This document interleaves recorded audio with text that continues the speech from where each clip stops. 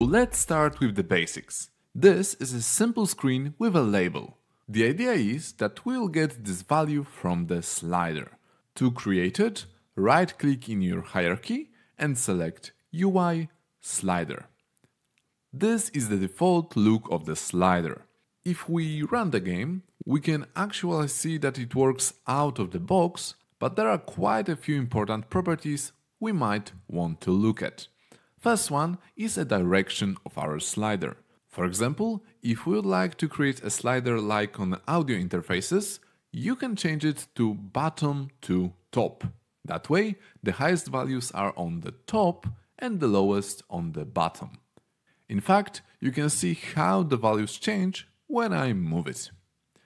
Min and max value is pretty self-explanatory and whole numbers transforms it into a step slider.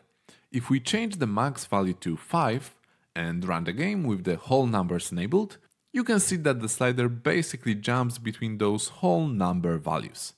Finally, the value field allows you to set the value on the game start.